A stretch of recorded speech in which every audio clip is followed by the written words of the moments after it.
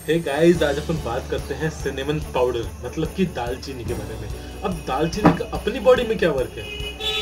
Basically guys जब अपन कोई भी ऐसी चीज़ खाते हैं जिसके अंदर शुगर होता है तो वो अपने ब्लड के अंदर जाती है।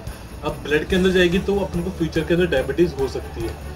यहाँ सिनेमन पाउडर का वर्क स्टार्ट होता है। सिनेमन पाउडर जो अपना शुगर ब्लड के अंदर जा रहा है, उस प्रोसेस को स्लो डाउन कर देगा।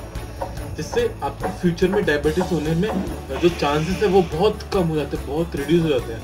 अगर आपके ऑलरेडी डायबिटीज़ है तो भी आपके लिए वो बहुत फ़ायदा करेगी। कैसे? वो आपको डायबिटीज़ कंट्रोल करने में हेल्प करेगी।